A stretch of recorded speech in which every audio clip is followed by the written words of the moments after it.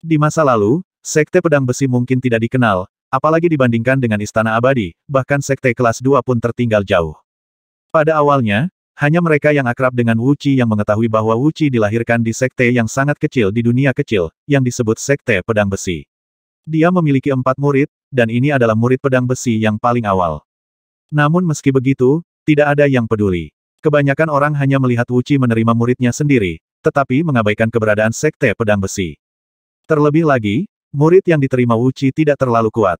Bahkan jika mereka memiliki bakat, bagaimana mereka bisa diperhatikan oleh guru sejati. Namun, seiring berjalannya waktu, Wuci menjadi semakin kuat, bahkan menghabisi Tuan Suantian dengan pedangnya, mengalahkan Raja Naga, dan memimpin umat manusia yang kuat ke tempat terlarang yang legendaris dan setan di Dutian mati di bawah pedang Wuci. Untuk sementara waktu, Wuci tidak diragukan lagi menjadi pemimpin sejati umat manusia, dan kekuatannya bahkan lebih besar daripada menghabisi Tuhan. Akibatnya, momentum Sekte Pedang Besi akan meningkat secara alami. Tapi orang lainlah yang benar-benar membuat Sekte Pedang Besi terkenal di seluruh dunia. Nama orang ini adalah Liu Yu, dan dikatakan bahwa dia adalah kakak laki-laki Wuci. Dia adalah orang yang benar-benar membangun kembali sekte pedang besi di dunia kecil dan merekrut banyak murid pemahaman tentang jalan pedang. Di bawah budidaya Liu Yu yang telaten, sekte pedang besi memiliki banyak bakat, dan tampaknya mereka benar-benar mendapatkan kemurahan hati dari sebuah sekte besar. Beberapa murid yang diterima Wuci pada awalnya juga luar biasa dan benar-benar menonjol. Dengan pecahnya perang, mereka membuat kagum dunia dan menjadi orang kuat yang terkenal di dunia. Murid-murid ini selalu menganggap diri mereka murid pedang besi. Sementara yang lain terkejut dengan identitas murid muda pedang besi, mereka tidak menyadari tatapan aneh di mata Perihan ketika dia mendengar tiga kata ini. Bolehkah aku bertanya aku memanggilmu apa? Duyu mau tidak mau bertanya, sambil sedikit mengepalkan tinjunya. Melirik ke arah Duyu, pemuda itu menjawab dengan tenang, nama saya Zhang Binyuan, peringkat keempat. Begitu dia mengatakan ini, semua orang menjadi gempar, dengan kegembiraan di wajahnya, dan Duyu membungkuk dengan penuh semangat. Dia membungkuk dan berkata, saya merasa terhormat menyaksikan kemegahan pedang kehidupan dan kematian. Meskipun Du meninggal, dia tidak menyesal. Pedang pria Zhao Yuxing, pedang hati kanan Yu Wei, pedang Guyun Xiao Xinyan, pedang hidup dan mati Zhang Binyuan, dan pedang King Yun Feng Han. Sekarang, masing-masing dari lima murid pedang besi sudah menjadi orang yang kuat dan memiliki nama terkenal. Tapi baik Duyu maupun murid istana abadi lainnya jelas tidak menyangka akan bertemu Zhang Binyuan, pedang hidup dan mati, di sini. Melambaikan tangannya, Zhang Binyuan berkata dengan santai, belum terlambat untuk berbicara setelah aku menghabisinya. Sambil berbicara, Zhang Binyuan menebaskan pedang di tangannya lagi, dan cahaya pedang hitam dan putih mengalir, langsung menutup kekosongan, dan menghadap Taiko di depannya dengan berani. Zhang Binyuan disebut pedang kehidupan dan kematian karena dia memiliki bakat di jalan hidup dan mati yang sulit ditandingi oleh orang biasa. Dia juga menemukan cara baru untuk mengintegrasikan jalan hidup dan mati ke dalam pedang, dan menciptakan jalan unik menuju pedang. Bahkan di antara lima murid pedang besi, Zhang Binyuan adalah yang terkuat. Sekarang, hanya pedang kehidupan dan kematian ini yang dapat melakukannya jika dia berani menggunakan kekuatan orang yang kuat untuk menantang dewa dan IBL kuno, dan bahkan mengancam akan menghabisi mereka. Dalam sekejap, niat menghabisi ada di mana-mana, dan lapisan energi pedang dengan paksa menyelimuti para dewa dan IBL kuno. Pertarungan tingkat ini bukan lagi sesuatu yang bisa melibatkan para murid istana abadi ini. Satu-satunya yang mungkin bisa membantu, Perihan, terluka lagi. Terlebih lagi, dengan identitas Zhang Binyuan, tidak semua orang memenuhi syarat untuk ikut campur dalam pertarungannya. Namun, melihat sosok Zhang Binyuan yang bertarung sengit dengan para dewa dan IBL kuno, Perihan tidak bisa menahan tangisnya, dan berkata dalam hati pada dirinya sendiri. Ternyata, aku bahkan tidak bisa dibandingkan dengan muridmu. Melihat kelainan Perihan, hati Duyu bergerak sedikit, dan dia tiba-tiba teringat rumor di Istana Pedang. Dikatakan bahwa ketika Wuci berada di Istana Abadi di masa lalu, dia memiliki beberapa teman, dan di antara mereka adalah Perihan. Bahkan ada rumor bahwa Perihan selalu mengagumi Wuci, tetapi tidak pernah bisa memberitahunya. Selama bertahun-tahun, Perihan ini selalu sendirian, dan dia tidak pernah malu dengan pelamar mana pun.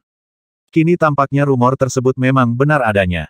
Hanya saja Duyu hanya bisa menghela nafas pelan ketika memikirkan identitas orang itu. Pedang kehidupan dan kematian Zhang Binyuan, sebagai salah satu murid pedang besi, telah menjadi terkenal di seluruh dunia. Dia memiliki kekuatan untuk menantang dan bahkan menghabisi dewa dan IBL kuno, sehingga mereka hanya bisa mengaguminya. Tapi pedang kehidupan dan kematian ini hanyalah murid sekte itu. Meskipun dia juga dikenal sebagai perihan dan dikagumi oleh banyak murid di Istana Abadi, jarak antara dia dan orang itu sangat besar. Namun, suatu saat, Zhang Binyuan menyusul lagi, dan Dewa dan Ibel kuno, yang telah kehabisan kemampuannya untuk melarikan diri, dicekik oleh pedang hidup dan mati, dan dibasmi langsung di bawah pedang. Meskipun wajah Zhang Binyuan sedikit pucat, pada akhirnya dia tetap menang bersih.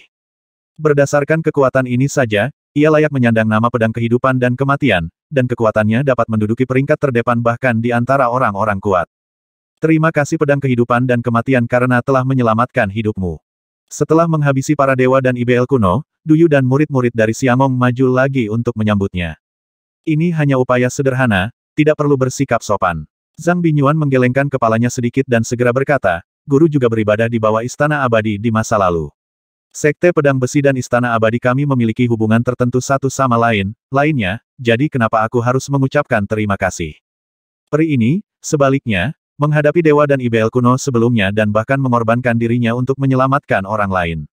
Sungguh mengagumkan, aku ingin tahu apa yang aku sebut peri. Beralih ke perihan, Zhang Binyuan bertanya. Ini adalah tetua Istana Pedang, perihan.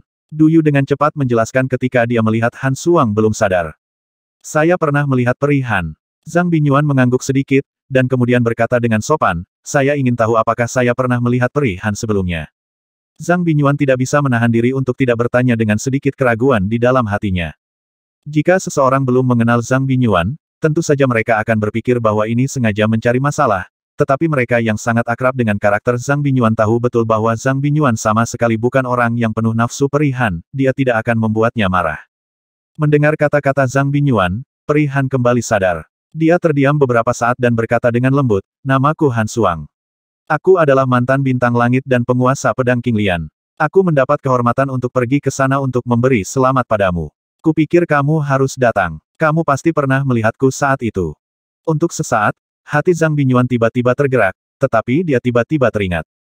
Ingatannya sendiri bagus. Ketika Wuci menikah, dia menerima teman lama Wuci sebagai muridnya. Saat itu, kekuatannya masih rendah, tapi bagaimanapun juga, dia adalah murid Wuci, dan banyak orang yang memberinya nasihat. Hadiahnya, tentu saja Han Suang adalah bagian darinya. Zhang Binyuan telah bertemu senior Han. Mengingat identitas Han Suang, Zhang Binyuan segera membungkuk dan memberi hormat. Kali ini adalah upacara junior. Senior, mengunyah dua kata ini dalam diam, Han Suang merasa sedikit sentimental, tapi tidak menolak sama sekali. Setelah memilah pikirannya, Han Suang bertanya, apa yang terjadi di kedalaman Laut Bintang? Sebenarnya, Du Yu sudah lama ingin menanyakan hal ini, tetapi karena identitasnya, dia tidak berani bertanya. Masih belum jelas. Sambil menggelengkan kepalanya, Zhang Binyuan menjelaskan, sekarang saya hanya tahu bahwa kekuatan bintang di kedalaman Laut Bintang sangat berfluktuasi, dan tampaknya ada kekuatan yang dengan gila-gilaan melahap kekuatan bintang di sekitarnya. Saat ini, tidak hanya umat manusia saya, ada juga banyak orang kuat dari klan naga dan klan monster yang datang untuk memeriksa situasi. Selain itu, saya curiga bahwa Dewa dan IBL kuno sebenarnya diperintahkan oleh Dewa dan IBL Dutian untuk melakukannya periksa situasinya. Setelah jeda, Zhang Binyuan melanjutkan, tetapi sejauh ini, tidak ada yang bisa mendekati kedalaman Laut Bintang bisa masuk jauh ke dalamnya. Mendengar ini, semua orang hanya bisa gemetar sedikit. Di kedalaman Lautan Bintang, beberapa orang yang sangat berkuasa awalnya bisa menginjakan kaki di dalamnya, tetapi sekarang bahkan orang yang kuat seperti pedang kehidupan dan kematian tidak dapat masuk jauh ke dalamnya bisa memasukinya. Terlebih lagi, bahkan para dewa dan IBL kuno pun mungkin datang ke sini karena alasan ini, yang menunjukkan bahwa masalah ini kemungkinan besar ada hubungannya dengan keselamatan umat manusia. Senior Han, masalah ini sangat penting. Saya harus menyampaikan berita ini kembali ke Tiangong sesegera mungkin, jadi saya mengucapkan selamat tinggal. Zhang Binyuan sedikit mengepalkan tinjunya dan mengucapkan selamat tinggal. Meskipun saya memiliki kesan tentang Han Suang, itu hanya sebatas itu. Mampu mempertahankan tingkat etiket tertentu adalah karena persahabatan Han Suang dengan Wu Qi di masa lalu, jadi tentu saja saya tidak bisa tinggal lebih lama untuk ini. Setelah mendengar kata-kata Zhang Binyuan, Duyu dan murid lainnya segera membungkuk untuk mengantarnya pergi. Hanya menyebutkan istana surgawi, Han Suang secara tidak wajar memikirkan Putri Changning yang kini telah menjadi kaisar surga. Mungkin hanya wanita seperti Putri Changning yang layak untuknya. Perihan, ayo kembali juga. Setelah melihat Zhang Binyuan pergi, Duyu berkata dengan lembut. Setelah sedikit terkejut, Han. Suang tersadar dan mengangguk dalam diam, ayo pergi. Kita perlu melaporkan perubahan lautan bintang kepada kepala istana sesegera mungkin. Akhirnya biarkan dia tahu. Aku memotong pikiran terakhir di hatiku. Baginya, itu mungkin melegakan. Titik. Dia bergegas di jalan dengan seluruh kekuatannya, tetapi hanya setelahnya beberapa hari, Zhang Binyuan kembali tiba di Istana Surgawi. Sebagai murid Wuci, Zhang Binyuan dengan mudah bertemu Putri Changning. Murid memberi hormat kepada guru.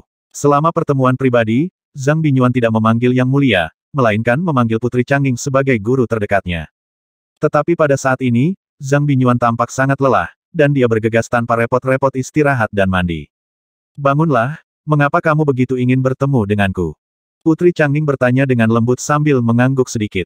Ini tentang lautan bintang, Zhang Binyuan menjelaskan segera setelah membungkuk sedikit. Apakah kamu berbicara tentang anomali di lautan bintang?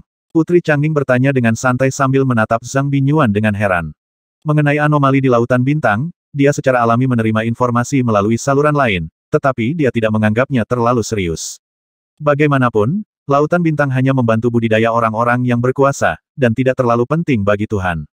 Saya merasakan pedang yang sangat kuat di kedalaman lautan bintang. Itu mungkin aura tuannya. Zhang Binyuan masih memiliki keraguan tentang Han Suang, tetapi sebenarnya tidak perlu menghadapi Putri Changning adalah alasan sebenarnya mengapa Zhang Binyuan bergantung pada dewa dan IBL kuno dan mengejarnya selama tiga hari tiga malam untuk menghabisinya. Apakah kamu yakin? Dalam sekejap, ekspresi Putri Changning tiba-tiba berubah. Dia mungkin tidak mengkhawatirkan perubahan apa pun di Laut Bintang, tapi pasti berbeda jika menyangkut Wuci. Selama 3000 tahun, tidak ada kabar dari Wuci. Bahkan dia tidak tahu di mana Wuci berada. Sekarang dia tiba-tiba mendengarnya, bagaimana mungkin dia tidak menganggapnya serius. Terlebih lagi, Zhang Binyuan dapat mendeteksi bahwa itu mungkin Wuci, sehingga orang lain mungkin dapat mendeteksinya juga. Setelah ditemukan oleh orang lain, saya khawatir itu akan sangat berbahaya. Saya tidak berani mengatakan bahwa saya yakin, tetapi saya setidaknya 50% yakin.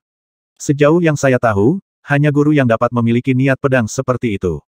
Melihat Putri Changning, Zhang Binyuan berkata dengan serius. Ceritakan padaku secara detail. Wajah Putri Changning menjadi sedikit lebih serius dan dia bertanya dengan suara yang dalam. Ya, Zhang Binyuan setuju, dan kemudian menjelaskan masalahnya secara rinci.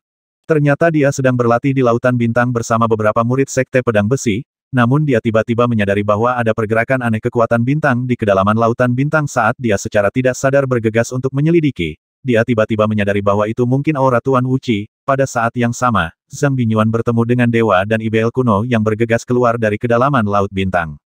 Dalam sekejap, Zhang Binyuan menyadari krisis tersebut dan mengikuti para dewa dan IBL kuno dalam pengejaran. Selama pengejaran, Zhang Binyuan memperhatikan bahwa dewa dan IBL kuno tampaknya telah terluka parah. Saat dia hendak pergi, dewa dan IBL kuno itu menabrak murid-murid Sekte Pedang Besi Sekte Pedang Besi, dia langsung mengambil tindakan untuk melahap beberapa murid Sekte Pedang Besi untuk pulih dari luka-lukanya. Akibatnya, Zhang Binyuan menjadi lebih kejam. Agar tidak membuat orang lain waspada, dia mengejarnya dengan dalih bahwa pihak lain telah menyerang dan menghabisi seorang murid sekte pedang besi. Dari segi kekuatan, nyatanya Zhang Binyuan masih kalah dengan para dewa dan IBL kuno, namun para dewa dan IBL kuno pernah terluka di kedalaman Laut Bintang sebelumnya, dan dikepung oleh orang-orang dari sekte pedang besi lagi. Ayo, Zhang Binyuan mengejarnya sepanjang jalan tanpa memberi lawannya kesempatan untuk pulih. Kemudian Zan Zan mencegat lawannya lagi di luar Laut Bintang dan secara paksa menghabisi Dewa dan IBL kuno. Sulit untuk menggambarkan berapa banyak bahaya dan kesulitan yang mereka lalui, dan itu tidak semudah yang dilihat Han Suang dan yang lainnya. Dan meskipun dia menghabisi Dewa dan IBL kuno ini, Zhang Binyuan masih tidak yakin apakah ada Dewa dan IBL kuno lainnya atau penguasa dari klan IBL dan Naga yang telah mendeteksi hal ini, jadi dia bergegas kembali ke Istana Surgawi tanpa istirahat sejenak hanya untuk memberitahu Putri Changning berita itu secepat mungkin. Pada titik ini, Putri Changning secara alami dapat menyadari bahwa Wu Qi mungkin benar-benar bersembunyi di Lautan Bintang. Saat ini, perubahan di Laut Bintang telah menarik terlalu banyak orang, dan tidak mungkin untuk memblokir berita tersebut. Jika Wu Qi benar-benar ada di antara mereka, segalanya akan menjadi sangat merepotkan. Selama 3000 tahun, para dewa dan IBL di ibu kota tidak pernah menyerah-menyerang umat manusia, hanya untuk memaksa Wu Qi keluar kedua belas ibu kota pasti akan datang sendiri. Pada saat itu, bagi Wu Qi Sai, itulah bahaya yang sebenarnya. Istana Naga, Raja Naga bertanya dengan suara yang dalam dengan tatapan serius di matanya. Kalau soal Raja Naga, aku tidak yakin sebelumnya, tapi selain aku, ada juga Dewa dan IBL kuno, dan murid Wu Qi Zhang Binyuan, pedang kehidupan dan kematian. Mengangguk, Long Jiu menjelaskan, di saat itu, Para dewa dan IBL kuno memasuki tempat terdalam, tetapi mereka jelas terluka ketika keluar. Setelah itu, Zhang Binyuan mengejar para dewa dan IBL kuno sepanjang jalan dapat yakin bahwa Zhang Binyuan mengejarnya dengan keras. Setelah tiga hari tiga malam, dia akhirnya menghabisi dewa dan IBL kuno di tepi lautan bintang. Alis Long Zun tiba-tiba melonjak, dan dia menatap ke arah Long Jiu, matanya, tapi dia sudah mempercayai penilaian Long Jiu di dalam hatinya. Jika bukan karena Wu Qi, Zhang Binyuan hanyalah orang yang kuat, dan sama sekali tidak ada alasan untuk mengambil risiko sebesar itu dan mengejar dewa dan IBL kuno. Namun, jika ini benar, pilihan apa yang harus diambil klan naga sekarang? Long Zun, Zhang Binyuan seharusnya sudah mengirim berita itu kembali ke Tiangong sekarang. Kita masih harus mengambil keputusan lebih awal. Berita itu telah dikirim kembali ke Tiangong, yang berarti Tiangong akan segera bereaksi. Jika Anda tidak menentukan pilihan sejak dini, anda hanya akan menyia-nyiakan kesempatan ini. Melihat Long Zun masih ragu-ragu, Long Jiu berbicara lagi, Long Zun, 3000 tahun yang lalu, kita telah menyinggung umat manusia sampai mati. Jika Wuci benar-benar menerobos klan kita dalam bahaya. Dianggap berbicara tentang Long, masalah di alam Buddha kebahagiaan tertinggi selalu menjadi duri di hatinya. Meskipun 3000 tahun telah berlalu, dia masih tidak dapat melupakan kejadian ketika Sang Buddha meninggal, dia juga tidak dapat melupakan kata-kata Sang Buddha. Bagaimanapun juga, umat manusia berbeda. Terlebih lagi, umat manusia sudah sangat kuat saat ini. Begitu rintangan 12 dewa dan IBL dilewati, akan sulit untuk menghentikan kebangkitan umat manusia menjadi celah sebelumnya, dan ras naga juga akan sulit untuk hidup berdampingan secara damai dengan umat manusia lagi. Daripada melakukan ini, lebih baik manfaatkan kesempatan ini untuk memusnahkan umat manusia dalam satu gerakan. Mendengar hal ini, Long Zun tiba-tiba membuat keputusan di dalam hatinya, masalah ini tidak boleh disebarluaskan keluar, saya akan menanganinya sendiri. Ya, meskipun Long Zun tidak mengatakannya dengan jelas, itu sudah cukup bagi Long Jiu menyadari apa yang dimaksud Long Zun. Insiden di alam Buddha surga menyebabkan prestise Pangeran Long Qi di klan naga anjlok. Sekarang, meskipun Long Zun telah menjelaskannya, dia diam-diam telah setuju untuk mengizinkan orang lain bersaing memperebutkan identitas pewaris klan naga mereka, dia awalnya menganjurkan menjadi musuh umat manusia. Long Jiu adalah salah satu yang terbaik. Selama Long Zun memutuskan untuk mengambil tindakan melawan umat manusia lagi, hal itu pasti akan menyebabkan perombakan kekuatan internal klan naga lagi, dan dia kemungkinan besar akan menggantikan posisi Pangeran Long Qi dengan kontribusi ini. Ketika Long Jiu keluar dari aula, sosok Long Zun langsung menghilang ke dalam kehampaan. Titik-titik. Kedalaman laut berbintang. Sendewa teratai hijau tiba-tiba mekar, dan bintang-bintang surgawi di sekitarnya terus-menerus ditarik ke dalam teratai hijau, seolah-olah membentuk pusaran air yang menakutkan, menelan semua kekuatan bintang. Semakin banyak bintang surgawi yang tertelan, sendewa teratai hijau itu menjadi semakin terang. Jika seseorang dapat melihat pemandangan itu melalui teratai hijau, mereka akan menemukan bahwa Wu Qi sedang duduk di tengah-tengah teratai hijau, dengan bintang-bintang di seluruh langit di sekelilingnya.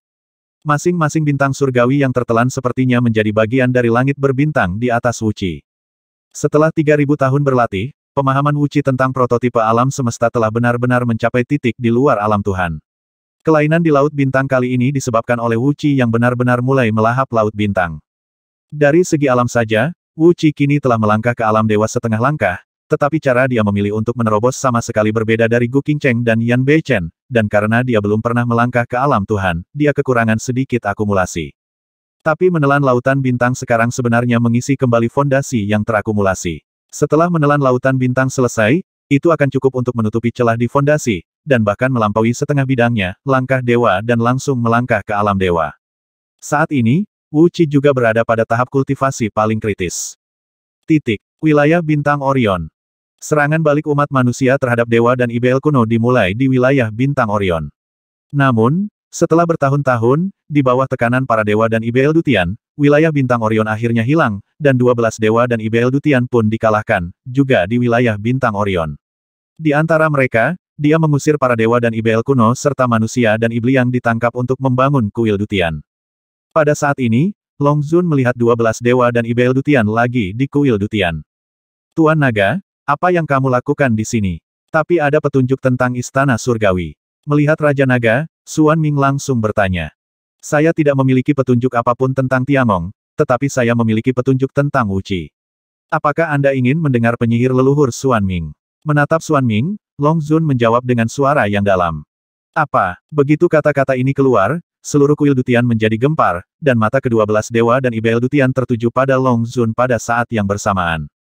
Katakan, dihadapkan pada tekanan dari para dewa dan ibel dari 12 ibu kota, kulit kepala Long Zun tidak bisa menahan rasa kebas, tapi dia masih berkata pada dirinya sendiri, tentu saja aku datang ke sini dengan persiapan untuk memberitahumu, tapi aku juga-juga, harap kamu bisa memberiku janji, jika kami benar-benar dapat menemukan Wu Qi, kami tidak akan mengambil tindakan terhadap klan naga kami di masa depan. Tentu saja, berita itu harus diberitahukan, tetapi Long Zun juga tahu bahwa sekarang adalah yang terbaik kesempatan untuk menyelamatkan Long Zun, jadi tentu saja dia tidak akan melepaskannya.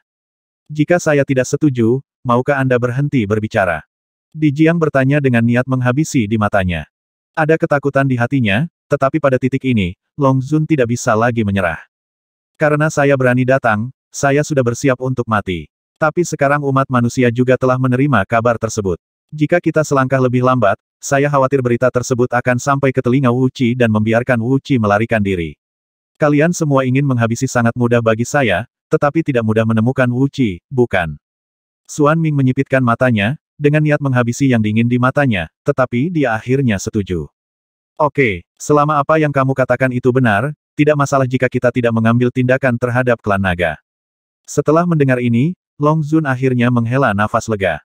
Kata-katanya sudah jelas, dan tentu saja tidak perlu menunda lebih lama lagi. Long Zun berkata langsung, ada perubahan mendadak di Laut Bintang. Uchi berada di kedalaman Laut Bintang. Untuk menutupinya, sampaikan berita, murid-murid Uchi dengan paksa menghabisi orang yang menemukan ini. Dewa dan IBL kuno dalam berita. Anda dapat membedakan kebenaran dan kebohongan begitu Anda memasuki Laut Bintang.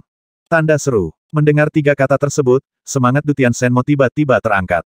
Mengenai perubahan di Laut Bintang, mereka sebenarnya telah menerima berita, tetapi mereka belum dapat menghubungi Wuci. Sekarang setelah mereka mendengar apa yang dikatakan Long Zun, mereka langsung bereaksi. Tanpa ragu-ragu, Suan Ming segera berkata, ayo pergi ke Lautan Bintang. Lebih baik aku pergi. Di Istana Surgawi, beberapa penguasa kuat dari umat manusia telah tiba.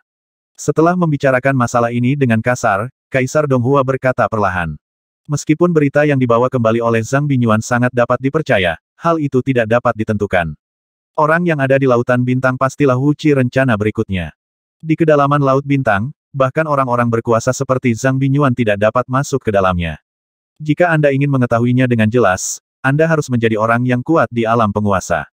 Terlebih lagi, begitu berita tersebut sampai ke Dewa dan Ibel Dutian, maka jika Anda masuk jauh ke Laut Bintang, kemungkinan besar Anda akan bertemu dengan Dewa dan Ibel Dutian dekat dengan Wu Qi, tentu saja Anda tidak akan mau pergi. Hanya ada sedikit orang kuat dalam umat manusia yang berada di alam penguasa.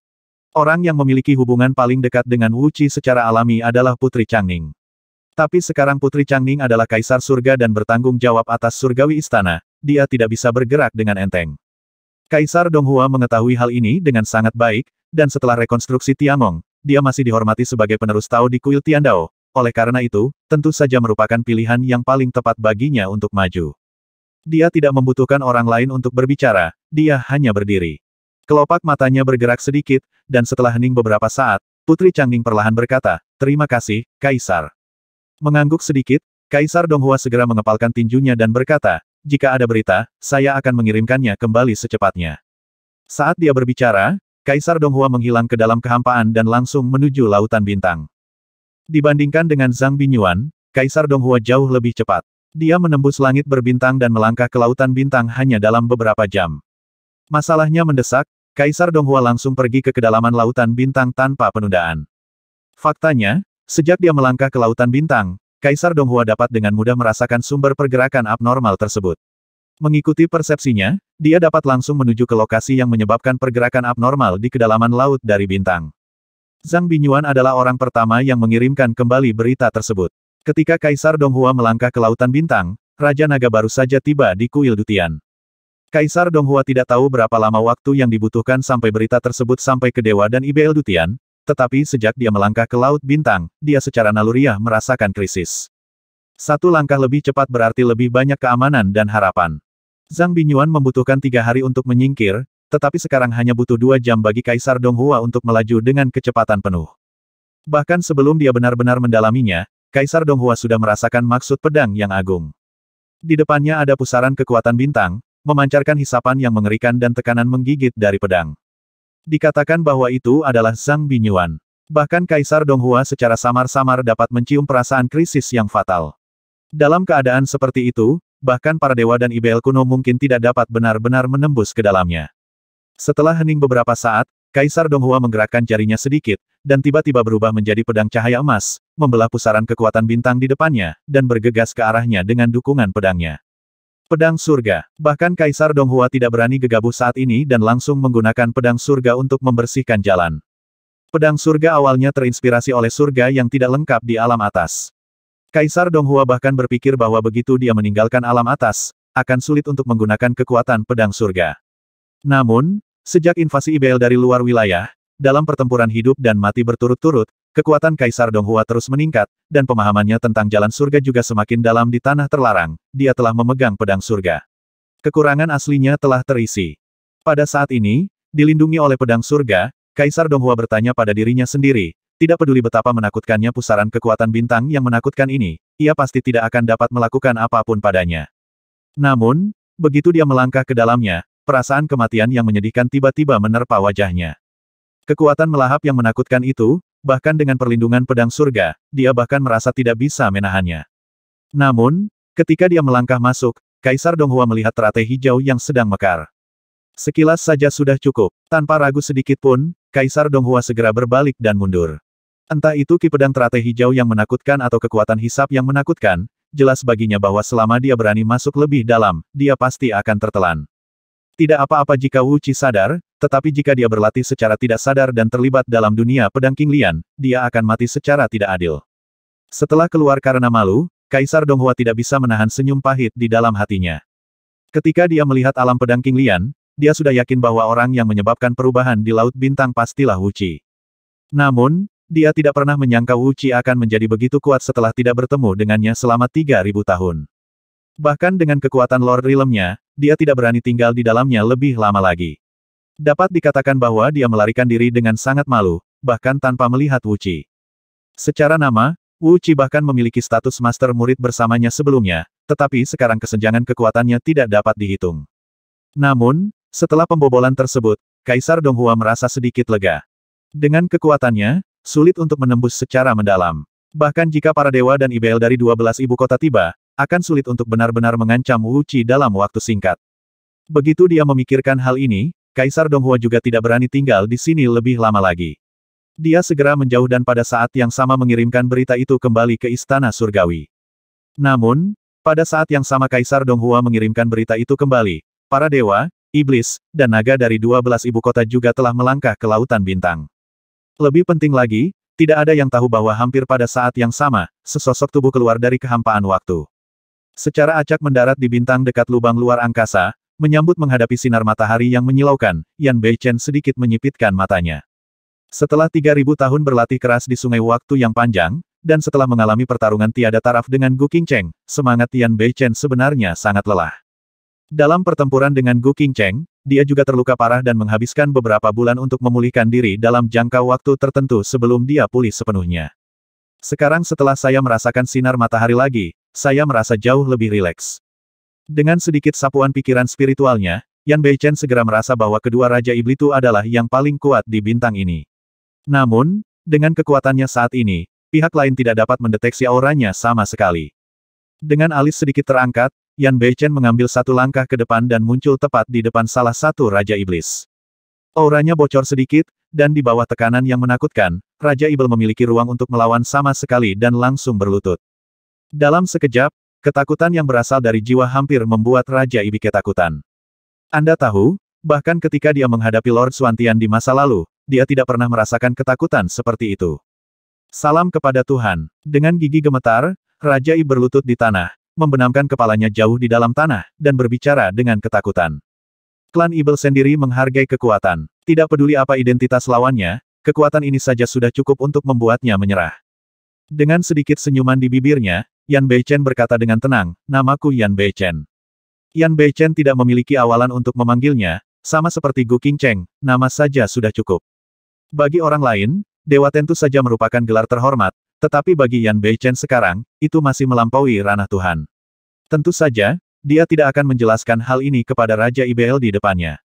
Ras manusia. Saat menyebut nama ini, Raja Ibel tiba-tiba terkejut dan tanpa sadar ingin mengangkat kepalanya, Namun, saat dia mengangkat kepalanya, dia tiba-tiba merasakan tekanan yang menakutkan dan langsung menundukkan kepalanya lagi.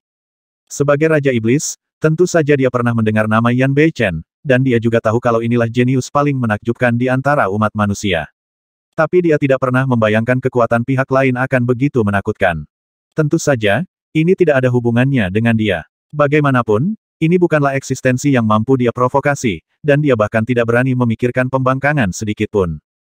Katakan padaku, apa yang terjadi pada tahun-tahun ini? Yan Beichen dengan santai duduk di sampingnya dan bertanya dengan tenang. Titik. Lautan bintang. Dibandingkan dengan Kaisar Donghua, kedua belas dewa dan ibu kota secara alami lebih cepat. Meskipun mereka memulainya sedikit lebih lambat, mereka masih bergegas ke sana tak lama setelah Kaisar Donghua pergi. Hanya dengan pandangan sekilas, dua belas dewa dan ibel surgawi sudah merasakan bahayanya bahkan sebelum melangkah ke dalamnya. Tidak, apakah kamu melahap kekuatan bintang? Sebizu berkata dengan suara yang dalam dengan pupil matanya sedikit mengecil. Dibandingkan dengan orang lain, Dutian Senmo memiliki penglihatan yang jauh lebih tinggi, sehingga dia secara alami dapat melihat bahwa kelainan di Laut Bintang disebabkan oleh seseorang yang dengan gila-gilaan melahap kekuatan bintang. Tapi siapa yang berani menelan kekuatan bintang begitu saja? Dutian Senmo selalu terkenal dengan kekuatan fisiknya, namun meski begitu, dia tidak akan pernah berani melahap kekuatan bintang begitu gila, jika tidak, dia pasti akan mati karena meledakkan tubuhnya. Itu Wuci. Dengan tatapan suram di matanya, Di Jiang berkata dengan dingin, alam pedang King Lian Wuci telah berevolusi menjadi prototipe alam semesta. Tak seorang pun kecuali dia yang berani melakukan ini. Ketika dia meninggalkan tanah terlarang, Di Jiang telah bertarung dengan Wuci dan terlibat dalam dunia pedang King Lian. Justru karena itulah dia mengetahui bahwa Wuci telah mengembangkan prototipe alam semesta. Sekarang saya menyadari sesuatu yang tidak biasa di sini, saya langsung bereaksi. Ketika sampai pada hal ini, para dewa dan iblain baik-baik saja dengan itu, tetapi Long Zun sangat ketakutan sehingga bulu-bulu di sekujur tubuhnya berdiri. Dunia di dalam tubuh memunculkan prototipe alam semesta. Dia sendiri adalah orang kuat yang telah berada di alam dewa selama bertahun-tahun, jadi dia secara alami tahu apa artinya. Dapat dikatakan bahwa separuh kakinya telah melangkah ke alam dewa. Jika dia tahu bahwa Wuci telah mencapai level ini, dia tidak akan pernah memilih untuk putus dengan umat manusia apa pun yang terjadi. Berpikir bahwa setelah Wuci berhasil menerobos dan mengetahui tentang pengkhianatan klan naga dan bahwa dia telah memikat para dewa dan Ibel Dutian, dia merasa sedikit kedinginan. Siapa pun yang berpikir bahwa orang yang dia sakiti adalah orang kuat yang mungkin masuk ke alam dewa, mungkin tidak lebih kuat dari Long Sun. Tidak heran, pantas saja Wuci mampu membalikkan keadaan di tanah terlarang di saat-saat terakhir, menghabisi Zhu Jiwin dalam satu gerakan, menyebabkan para dewa dan Ibel di 12 ibu kota menjadi kacau balau, dan memberi secercah harapan kepada orang lain. Ternyata saat itu, Wu Qi sudah mencapai kondisi yang begitu menakutkan. Tapi, bagaimana mungkin, bahkan jika dia berulang kali melebih-lebihkan potensi Wu Qi, dia tidak akan pernah membayangkan hal ini. Ini di luar logika yang dimiliki orang normal, oke. Okay. Biarkan aku masuk dan melihat. Di Jiang berkata perlahan dengan sedikit ketakutan di matanya. Meskipun para dewa dan IBL dari 12 ibu kota berselisih dan berkonflik setiap hari, mereka masih sangat bersatu sebelum peristiwa besar seperti itu. Di Jiang mengendalikan Space Avenue, dan di antara para dewa dan IBL dari 12 kota, dia memiliki kemampuan menyelamatkan nyawa yang paling kuat. Jika kita ingin mengetahuinya, dia tentu saja adalah kandidat terbaik. Ini terbatas pada satu saat. Jika kamu tidak keluar, kita akan masuk bersama. Suan Ming mengangguk dan kemudian berkata, saat dia berbicara, Sosok di Jiang bergoyang dan dia melangkah ke pusaran kekuatan bintang. Titik. Buddha yang terberkati dunia telah runtuh. Meskipun Yan Beichen mengetahuinya hati bahwa tahun-tahun ini akan sangat sulit bagi umat manusia, dia tidak pernah menyangka bahwa bahkan alam Buddha surga akan runtuh. Memikirkan tentang Sang Buddha surga, Yan Beichen tidak bisa menahan diri untuk tidak menghela nafas pelan. Ketika dia pertama kali tiba di luar wilayah, baik Raja Ibel Wu dan Tuan Bliss memberinya banyak bantuan. Sebagai dua pemimpin sejati umat manusia, status mereka di antara umat manusia selalu sangat tinggi. Di tanah terlarang, Yan Beichen bisa mengabaikan hidup dan mati orang lain demi warisan Dutian, tapi itu tidak berarti dia benar-benar kejam dan berdarah dingin. Klan Naga, kamu sangat berani. Dengan niat menghabisi di matanya, Yan Beichen mengabaikan Raja Ibli yang tidak berani mengangkat kepalanya dan menghilang ke dalam kehampaan dalam sekejap. Baru setelah Yan Beichen pergi selama ratusan napas, Raja I berani mengangkat kepalanya dan duduk di tanah. Seluruh tubuhnya dipenuhi keringat dingin. Bukan karena dia penakut, tapi kekuatan Yan Beichen agak terlalu menakutkan. Setelah menenangkan diri, dia tiba-tiba teringat sesuatu, dan Raja Ibel sangat ketakutan sehingga dia tiba-tiba jatuh dari tanah. Klan naga, dia pergi ke klan naga. Dibandingkan dengan klan manusia, klan iblis selalu lebih dekat hubungannya dengan klan naga. Lebih dekat lagi, hampir secara tidak sadar, dia ingin mengirim pesan ke klan naga. Namun, saat berikutnya, tangan yang dia ulurkan tiba-tiba menegang. Tidak, kekuatan Yan Bei Chen itu sangat menakutkan. Dia pasti telah menghafal. Auraku, jika dia mengetahuinya bahkan jika aku memiliki seratus nyawa, itu tidak akan cukup baginya untuk menghabisiku. Keberaniannya tiba-tiba menghilang. Apakah klan naga tidak beruntung atau tidak? Tidak ada hubungannya dengan dia, tapi dia hanya memiliki satu kehidupan, tapi dia tidak mampu untuk bertaruh apa pun yang terjadi. Terlebih lagi, klan naga juga memiliki dua tuan yang kuat di alam tuan naga dan pangeran Longki. Yan Beichen sendiri mungkin tidak dapat melakukan apa pun terhadap klan naga. Tentu saja, Raja Iblis yang takut mati ini tidak tahu bahwa hanya dengan pemikiran seperti itu, klan naga hampir musnah. Seluruh istana naga dipenuhi dengan mayat dan sungai darah. Istana naga, Longki, di mana ayahmu? Apakah itu sesuatu yang harus kamu khawatirkan? Memutar matanya, Long Jiu dengan jijik menghalangi Pangeran Longki dari aula, kata-katanya penuh ejekan. Jika sebelumnya, Pangeran Longki adalah pewaris yang ditunjuk oleh Raja Naga dan orang yang berkuasa di alam penguasa, Long Jiu tentu saja tidak akan berani bersikap kasar. Tapi sekarang reputasi Pangeran Longki di antara klan naga telah anjlok, Long Zun jelas punya ide lain. Akibatnya, satu-satunya keuntungan Pangeran Longki adalah dia adalah master yang kuat di alam penguasa. Tapi saat ini, Dewa dan Ibel merajalela di langit. Baik itu ras manusia atau ras iblis, tidak ada kekurangan orang kuat di alam penguasa. Sebagai perbandingan, Pangeran Longki tidak memiliki keunggulan sama sekali. Jika Long Jiu ingin sepenuhnya menekan Pangeran Longki, atau bahkan memaksa Pangeran Longki meninggalkan klan naga secara sukarela, dia harus angkat bicara. Terlebih lagi, ini hanya perselisihan kata-kata. Long Zun masih di sini, mungkinkah dia masih takut Pangeran Longki berani menghabisinya? Matanya tertuju pada Long Jiu, dan Pangeran Longki sedikit jijik. Faktanya, dia pada dasarnya tidak menyukai kekuatan, dan dia tidak punya niat untuk bersaing dengan siapa pun untuk tugasnya, selalu memikirkan klan naga. Hanya saja sebagai perbandingan, Pangeran Longki kurang memiliki sedikit darah dan keberanian. Tapi dia tidak bodoh. Dia bisa melihat dengan jelas pikiran Long Jiu, tapi sekarang bukan waktunya untuk mempedulikan hal ini dengan Long Jiu. Long Jiu, kamu sama sekali tidak memahami keseriusan masalah ini. Aku hanya ingin bertanya padamu, apakah ayahmu benar-benar menemukan dewa dan iblis? Pangeran Longki bertanya dengan suara yang dalam dengan sedikit kecemasan di suaranya mata. Apa hubungannya denganmu? Long Jiu mencibir dan bertanya tanpa basa-basi, Apakah menurutmu orang yang bisa menentukan sikap klan naga sekarang bukanlah ayahmu, melainkan kamu? Dengan tamparan seperti itu, Pangeran Longki sangat marah hingga seluruh tubuhnya gemetar. Tentu saja, dia tidak berani mengatakan bahwa dia dapat mengambil keputusan atas nama klan naga, tetapi masalahnya melibatkan Wuci dan hubungannya dengan umat manusia, jadi bagaimana mungkin dia tidak cemas? Ya, aku juga ingin tahu di mana Raja Naga berada. Bisakah kamu memberitahuku? Hampir di saat yang sama, Tekanan mengerikan tiba-tiba turun. Mengenakan pakaian brokat hitam dan ungu, Yan Beichen dalam satu langkah, muncul langsung di dalam depan istana naga, dia meletakkan tangannya di belakang punggung dan bertanya dengan tenang. Siapa? Long Jiu tiba-tiba terkejut dan dikutuk tanpa sadar. Tapi begitu kata-kata itu diucapkan, gumpalan api ibel tiba-tiba muncul dari kakinya. Dalam sekejap, seluruh tubuh Long Jiu terbungkus dalam api iblis, dan dia mengerang kesakitan. Yan Beichen, pupil matanya tiba-tiba menyusut, dan Pangeran Long Qi merasa kedinginan. Dia menatap lawannya dan berkata dengan tidak percaya. Long Jiu tidak mengenali Yan Beichen, tetapi Pangeran Long Qi pernah memasuki tempat terlarang bersama Wu Qi di masa lalu, jadi bagaimana mungkin dia tidak mengenali Yan Beichen. Namun, dia tidak pernah menyangka bahwa Yan Beichen, yang telah lama hilang, akan kembali saat ini dan muncul langsung di Istana Naga. Long Qi, kan, aku ingat kamu, tapi apakah aku membiarkanmu berbicara? Yan Beichen mengangkat alisnya sedikit, menatap Pangeran Longki, dan berkata dengan tenang. Rekan yang hampir berbicara itu terkena tekanan yang menakutkan. Bahkan dengan kekuatan Pangeran Longki, dia tiba-tiba mandek dan mundur lima atau enam langkah dalam satu tarikan napas sebelum hampir mendapatkan kembali keseimbangannya. Hanya dengan sekali pandang, dan tekanan yang ditimbulkannya sepertinya mampu menghancurkan semua keinginan untuk melawan. Sebagai perbandingan, bahkan menghadapi para dewa dan Ibel Dutian, Pangeran Longki tidak begitu tertahankan. Belum lagi apa yang dia pikirkan, Yan Bei Chen jelas tidak memperhatikannya. Dengan jentikan ujung jarinya, gumpalan api ajaib lainnya jatuh ke tubuh Long Jiu. Di bawah nyala api iblis yang menakutkan, Long Jiu akhirnya tidak tahan lagi dan terbang ke udara untuk mengungkapkan wujud aslinya.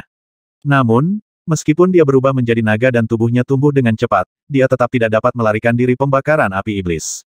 Long Jiu terus berputar di udara, dia jatuh dengan keras ke tanah dan mencoba memadamkan api IBL di tubuhnya. Namun, segala upaya saat ini sepertinya tidak ada artinya sama sekali. Semakin dia mengepak, semakin kuat api iblis yang menyala. Pada saat ini, anggota klan naga lainnya akhirnya bereaksi, dan beberapa tetua klan naga bergegas mendekat. Masing-masing tetua klan naga ini memiliki kekuatan Raja Ibel tertinggi, tetapi bahkan jika mereka bergabung saat ini, mereka tidak dapat membuat Yan Beichen berkedip. Siapa yang berani datang ke Istana Naga untuk bertindak begitu sombong? Menghadapi omelan pihak lain, Yan Beichen mengangkat kelopak matanya sedikit, itu hanya Istana Naga, menurutmu itu sarang naga atau sarang harimau? Dewa dan sarang harimau, Ibel bisa datang, tapi Yan tidak bisa datang. Atau menurutmu hanya Dewa dan Ibel Dutian yang bisa mengancammu? Dengan sedikit jentikan pergelangan tangannya, api ibel tiba-tiba naik dan berguling ke arah semua naga yang datang. Dalam beberapa napas, beberapa tetua naga yang baru saja tiba, bersama dengan puluhan naga di sekitarnya, semuanya terlibat dalam api iblis. Selamatkan aku, Long Qi, selamatkan aku. Dalam sekejap, Long Jiu terbakar hingga menjadi gila. Tidak peduli bagaimana dia berdebat dengan Pangeran Long Qi sebelumnya, dalam situasi ini, satu-satunya yang memiliki harapan untuk menyelamatkannya tetaplah Pangeran Long Qi. Sepertinya kamu masih tidak mendengarkan apa yang aku katakan. Yan Beichen berkata ringan dengan alis sedikit terangkat. Hampir di saat yang sama, kekuatan api ibel tiba-tiba meningkat lebih dari sepuluh kali lipat, dan naga yang melolong menyedihkan dalam api ibel segera terbakar menjadi abu dan jatuh dari udara. Termasuk para tetua klan naga, puluhan anggota klan naga yang terlibat dalam api ibel semuanya mati. Boom! Melihat Yan Beichen membantai anggota klannya dengan tidak hati-hati, Pangeran Long Qi akhirnya mau tidak mau mengambil tindakan. Sosoknya tiba-tiba bergoyang, dan dia muncul sebagai naga sungguhan dan bergegas menuju Yan Beichen dengan berani. Setelah memasuki alam Tuhan, Pangeran Long Qi menjadi sangat kuat. Dia sangat takut sehingga dia bahkan mengungkapkan wujud aslinya segera setelah dia muncul, dan bertarung dengan seluruh kekuatannya. Dalam keadaan seperti itu, Pangeran Long Qi bertanya pada dirinya sendiri, bahkan jika dia menghadapi para dewa dan Ibel Dutian, dia mungkin tidak memiliki kekuatan untuk bertarung. Namun, pada saat berikutnya, Pangeran Longki benar-benar merasa putus asa. Tangan di belakang punggungnya sedikit terulur, dan tubuhnya bahkan tidak bergerak sama sekali. Yan Beichen baru saja meninju, dan sepertinya menghancurkan seluruh dunia. Retak. Dalam satu pukulan, tulangnya patah dan uratnya patah. Pangeran Longki, yang menyerang dengan seluruh kekuatannya, bahkan tidak bisa menangkap pukulan acak Yan Beichen. Darah berceceran di mana-mana, dan tubuh Pangeran Longki jatuh ke tanah dengan keras. Darah berceceran di tangga batu. Saya mendengar bahwa Andalah yang mengkhianati aliansi dan mengkhianati lokasi alam Buddha surga, kan? Tuan Buddha surga telah jatuh, mengapa Anda masih hidup? Yan Beichen melangkah maju dan menginjak kepala Pangeran Longqi, seolah-olah dengan kekuatan besar, kepala naga itu langsung terinjak ke tanah. Adegan ini sungguh mengejutkan seluruh penonton. Meskipun saya tahu Yan Beichen sangat kuat ketika saya melihat Yan Beichen mengambil tindakan sebelumnya, siapa yang mengira dia akan begitu kuat? Pangeran Longqi bukanlah Raja Iblis, tetapi master yang sangat kuat di alam Lord. Meskipun ada kesenjangan besar dibandingkan dengan Lord veteran seperti Long Zun, dia tetaplah seorang Lord. Ketika Yan Beichen menyerang para tetua klan naga dan Long Jiu, orang-orang di klan naga lebih marah daripada takut, karena bagaimanapun juga, masih ada Pangeran Long Qi setingkat Lord yang duduk sebagai pemimpin, dan Yan Beichen bukanlah seorang dewa atau IBL di 12 ibu kota, meskipun memiliki keuntungan tertentu, mereka tidak dapat benar-benar mengancam klan naga. Tapi sekarang pemandangan ini hampir menumbangkan pemahaman semua orang tentang klan naga. Bagaimana ini bisa terjadi? Dewa setengah langkah, ini tidak mungkin bagaimana kamu melakukannya. Dengan kepalanya terkubur di tanah, hati Pangeran Longki sudah dipenuhi ketakutan. Sebagai orang kuat di alam penguasa, dia paling memahami kekuatan Yan Beichen. Itu bukanlah kesenjangan dalam kekuatan, tetapi kesenjangan dalam dunia nyata. Dengan langkah ini, dia bahkan tidak bisa menggunakan satupun hukum agung. Bahkan dengan seluruh kekuatannya, dia tidak bisa menggunakannya sama sekali. Kamu memiliki selera yang bagus, jadi bisakah? Kamu menjawab pertanyaanku dengan baik sekarang. Dengan sedikit niat menghabisi di matanya, Yan Beichen mengulangi dengan ringan, di mana Raja Naga. Alam Buddha adalah Pangeran Longki, tetapi Pangeran Longki saja jelas tidak cukup untuk memikul tanggung jawab seperti ini. Satu-satunya orang yang benar-benar dapat memutuskan pilihan klan naga adalah Long Sun. Yan Beichen datang ke sini untuk mengambil nyawa Long Sun. Di Lautan Bintang, Raja Naga ada di Lautan Bintang. Melihat bahkan Pangeran Long Qi tidak memiliki ruang untuk perlawanan di tangan Yan Beichen, Long Jiu akhirnya sepenuhnya menyadari kenyataan dan buru-buru berteriak, biarkan aku pergi dan ikuti aku. Tidak masalah, tolong biarkan aku pergi, aku akan menceritakan semuanya padamu. Di bawah ancaman kematian, tulang Long Jiu tidak bisa lagi mengeras. Lautan Bintang, Yan Beichen mengangkat alisnya. Rupanya, Yan Beichen sedikit terkejut dengan jawaban ini. Ya, takut Yan Beichen tidak mempercayainya, Long Jiu dengan cepat menjelaskan, saya melihat dengan mata kepala sendiri bahwa Wu Qi mungkin berada di kedalaman Laut Bintang. Para dewa dan Ibel Dutian telah mencari Wu Qi. Long Zun menyampaikan berita itu kepada para dewa dan Ibel Dutian. Ayo kita pergi ke Lautan Bintang bersama-sama. Jika Gu Qingcheng adalah lawan terkuat yang pernah dilihat Yan Beichen, maka Wu Qi adalah lawan paling potensial. Wu Qi lah yang secara paksa menyerang dan menghabisi Zhu Jiuyin di tempat terlarang, yang menyebabkan situasi saat ini dia memenangkan warisan Dutian, saya khawatir dia tidak akan bisa lolos dari kematian. Dalam 3000 tahun, dengan bantuan warisan Dutian dan pertempuran dengan Gu Qingcheng, dia menerobos ke alam dewa setengah langkah. Namun demikian pula, Wu Qi tidak akan menyia-nyiakan periode waktu ini. Dia telah berlatih di kedalaman Laut Bintang selama 3000 tahun. Keadaan apa yang telah dicapai Wu Qi sekarang? Setelah kebingungan sesaat, senyuman cerah tiba-tiba muncul di bibir Yan Beichen. Bagus sekali. Dua kata sederhana, tetapi begitu kata-kata itu jatuh, api ibel tiba-tiba melonjak, dan dalam sekejap, Long Jiu benar-benar tenggelam, dan jiwanya padam. Jawaban Long Jiu benar, tetapi Yan Beichen tidak pernah mengatakan bahwa selama dia menjawab, dia akan bertahan. Sebaliknya, begitu dia menjawab, nilai guna akan hilang sama sekali, jadi mengapa pihak lain tetap hidup? Yan Beichen, apa yang dikatakan Long Jiu benar? Aku khawatir para dewa dan Ibel dari seluruh penjuru langit telah tiba di lautan bintang. Jika kamu tidak pergi, Wu Qi pasti dalam bahaya. Setelah berjuang untuk mengangkat kepalanya, Pangeran Long Qi berbicara lagi. Kata-kata ini terdengar seperti pengingat yang bermaksud baik bagi Yan Beichen, tetapi kenyataannya, kata-kata itu mengalihkan perhatian, berharap dapat memancing Yan Beichen pergi. Pangeran Long Qi bahkan telah memikirkannya. Begitu Yan Beichen pergi, dia akan segera memimpin anggota klan naga meninggalkan istana naga. Ini bukan lagi era ketika Lord Swantian masih hidup. Bahkan dengan kehadiran dua alam Lord Swantian yang kuat, klan naga masih jauh dari mampu melindungi dirinya sendiri dari Chen Wu Wuchi yang keluar dari laut mungkin memiliki kemampuan untuk menghancurkan klan naga. Daripada menjadi seperti ini, lebih baik bersikap lebih tegas, menyerahkan istana naga secara langsung, dan membubarkan anggota klan, yang akan membawa harapan. Sempoannya sangat bagus, tapi sayangnya, Pangeran Longki masih gagal melihat dengan jelas apa yang dipikirkan Yan Beichen. Apakah Wuci dalam bahaya atau tidak? Apa hubungannya denganku? Dengan kekuatan tiba-tiba di kakinya, api iblis yang mengerikan mengalir ke tubuh Pangeran Longki, membakar jiwanya. Saya di sini untuk membalaskan dendam Sang Buddha kebahagiaan. Karena Raja Naga tidak ada di sini saya akan menghancurkan Istana Naga terlebih dahulu dan memanfaatkan kepentingannya. Saat dia berbicara, Yan Beichen tiba-tiba menginjak kakinya dan langsung mengetuk dari kepala Pangeran Longki hancur. Lari, kepalanya hancur, dan bahkan jiwanya tidak punya waktu untuk melarikan diri dan tersapu oleh api iblis. Pangeran Longki menggunakan kekuatan terakhirnya untuk berteriak dengan gila.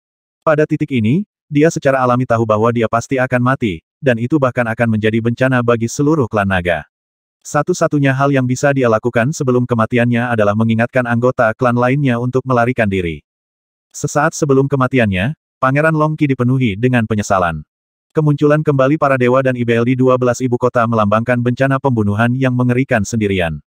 Ini hanyalah soal pilihan. Sebelumnya, menghadapi ancaman dari 12 dewa dan ibu kota, dia memilih untuk meninggalkan umat manusia.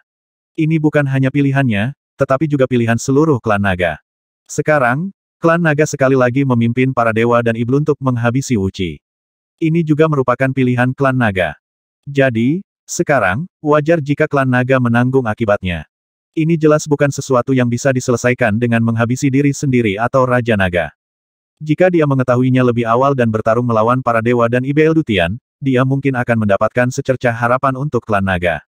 Namun, tidak ada orang yang menjual obat penyesalan di dunia ini. Jika ingin menyesal sekarang, sudah terlambat. Menghabisi. Kematian Pangeran Longki juga berarti pembunuhan kejam terhadap klan naga telah sepenuhnya dimulai.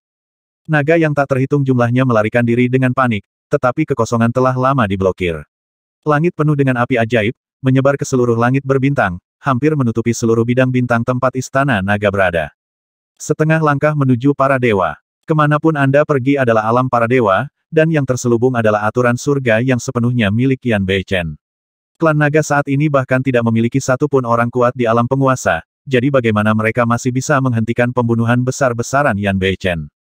Ini benar-benar sebuah bencana. Darah dan mayat tersebar di langit berbintang, berdarah dan kejam. Hanya segelintir naga yang berada di tepi terluar istana naga yang bisa melarikan diri dan naik ke surga. Pemandangan di depan saya jauh lebih tragis dibandingkan saat alam Buddha surga runtuh. Dan inilah yang dikatakan Yan Beichen kepada seluruh dunia dengan cara yang paling ampuh. Aku, Yan Beichen kembali. Jauh di dalam lautan bintang. Saat dia melangkah ke pusaran kekuatan bintang, Dijiang dengan jelas melihat teratai hijau yang indah. Kekuatan bintang yang tak terhitung jumlahnya bergegas menuju teratai hijau dengan gila-gilaan, seolah-olah kekuatan bintang berkumpul ke dalam teratai hijau setiap saat.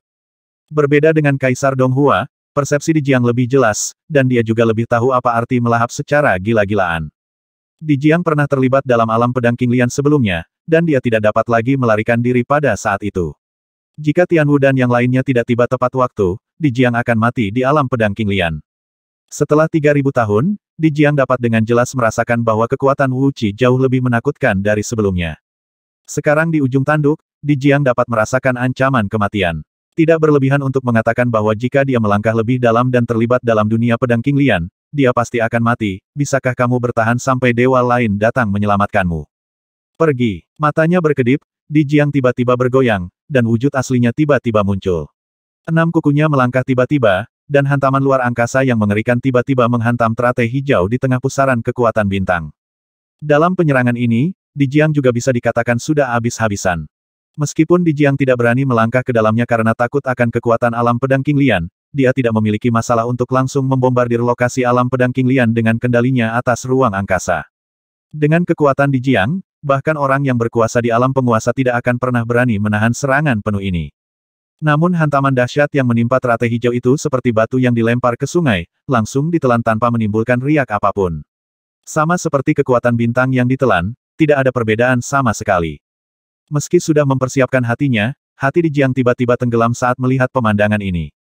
Para dewa dan ibel dari 12 ibu kota memiliki kekuatan yang sama. Serangannya tidak dapat menghancurkan alam pedang King Lian, dan itu akan sama bagi orang lain.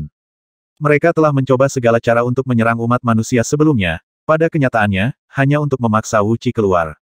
Tapi sekarang keberadaan Wuci sudah ditemukan, apakah dia masih diblokir di sini?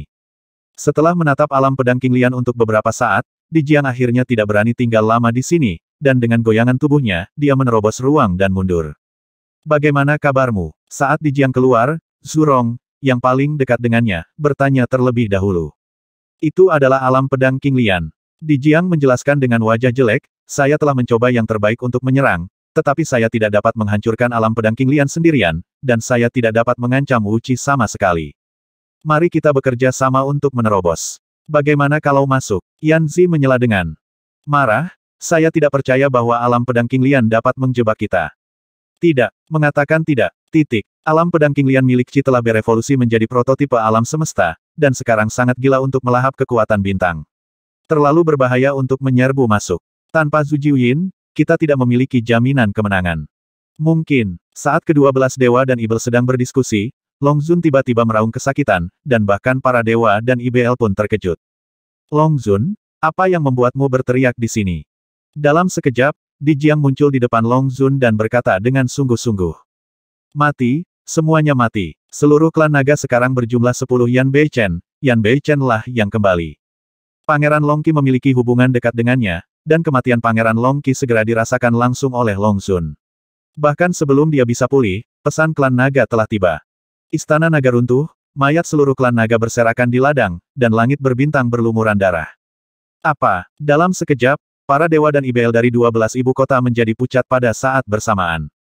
Mereka tidak peduli berapa banyak orang dari klan naga yang mati, tapi yang mereka pedulikan adalah alasan kematian klan naga. Tidaklah berlebihan untuk mengatakan bahwa pada awalnya, bahkan ketika mereka dipaksa ke istana naga, mereka sebenarnya tahu betul di dalam hati mereka bahwa jika klan naga benar-benar bertarung dengan mereka, mereka pasti akan mampu menghabisi kedua tuan panjang.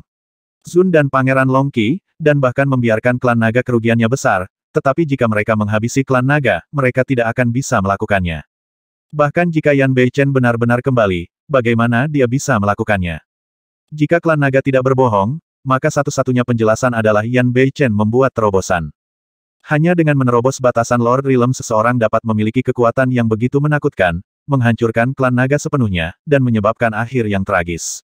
Setelah memperoleh warisan Dutian, mereka lebih tahu dari siapa pun potensi apa yang dimiliki Yan Beichen. Alasan mengapa mereka melanggar perjanjian 10.000 tahun adalah karena Yan Beichen melarikan diri dari tempat terlarang. Jika Yan Beichen benar-benar melangkah ke alam dewa tanpa Zhu Jiuyin, bahkan para dewa dan ibel dari 12 ibu kota tidak akan mampu melawannya sama sekali. Tidak mungkin. Tanpa asal-usul waktu Zhu Jiuyin, mustahil baginya untuk menyadari warisan sebenarnya dari dutian dewa setengah langkah. Dia hanyalah dewa setengah langkah. Dibandingkan dengan yang lain, Suan Ming jelas tampak seperti itu paling tenang. Katakan sejujurnya. Jika Yan Beichen benar-benar melangkah ke alam dewa, dia akan benar-benar tak terkalahkan. Bahkan jika Zhu Jiuyin masih di sana dan mengerahkan formasi Dutian, hasilnya masih tinggal dua, apalagi tanpa Zhu Jiuyin mereka tidak punya pilihan selain melarikan diri. Namun jika itu hanya dewa setengah langkah, tidak seburuk yang dibayangkan. Mendengar kata-kata Suan Ming, roh para dewa dan iblainnya tidak bisa menahan diri untuk tidak bersemangat. Ya, itu hanya dewa setengah langkah. Bukannya kita belum pernah menghabisi mereka semua sebelumnya. Selama kita bisa membangunkan Zhu Jiuyin, kita masih bisa menyapu langit.